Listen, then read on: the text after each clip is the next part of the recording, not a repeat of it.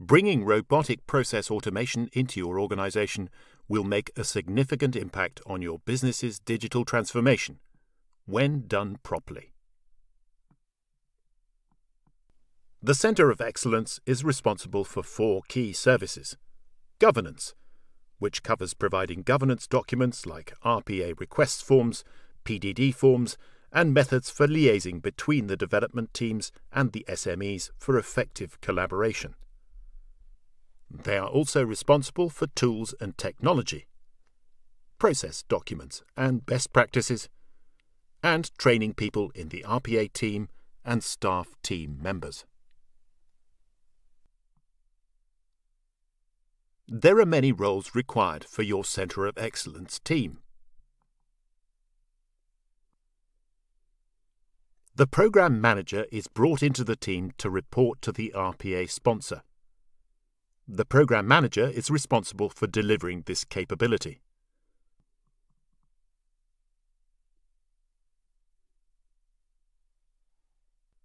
The Program Manager, the Business Analyst form a partnership to liaise between the business and the development team and various levels.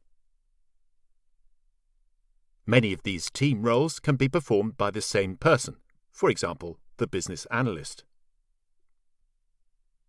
This is the most important and essential role, with responsibility for liaising with staff teams via the subject matter experts, the developers, and the solutions architect. In some setups, developer teams are offshore or near shore. In small teams, lead RPA business analysts in many cases can take on responsibilities of the project manager to ensure projects are completed on time and on budget. Sometimes they can take on the role of the change manager or evangelist as well.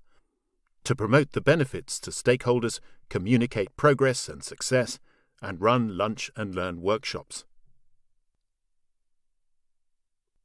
The RPA business analyst's core role is to work closely with subject matter experts to capture their requirements and translate the business problem into a technical solution using the process definition document, which they then give to the developer.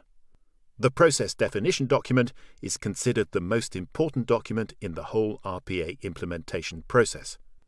We've included a template in the AEIOU toolkit.